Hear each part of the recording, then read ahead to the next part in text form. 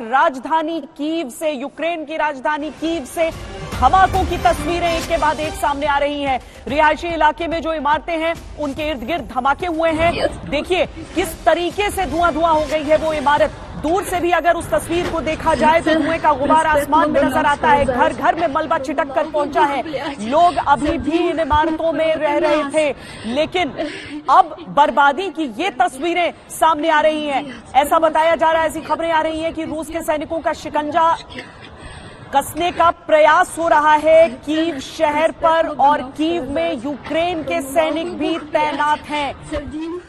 आज सुबह सबसे बड़ा जो वीडियो संदेश आया, वो यूक्रेन के राष्ट्रपति जेलेंस्की द्वारा आया, जिन्होंने कहा कि सरेंडर बिल्कुल नहीं, उन्हें केवल हथियार चाहिए। यूक्रेन के राष्ट्रपति जेलेंस्की का बड़ा बयान आया, जब अमेरिका की तरफ़ से उनको पेशकश की गई कि आप निकल लीजिए वहाँ से। सुरक्षित निकालने के यूएस के ऑफ़र को जेलेंस्की ने ठुकराया और कहा कि वो यूक्रेन में ही रहना चाहते हैं। देश छोड़कर कहीं नहीं जाने वाले हैं। रूस का भी एक प्रोपोगंडा हो रहा था कि जेलेंस्की भाग चुके हैं, लेकिन जेलेंस्की ने ये नई तस्वीर ये नई तस्वीर जारी करके ये बात कही अमेरिका से, यूक्रेन को साढ़े तीन सौ मिलियन डॉलर की मदद दी जाएगी।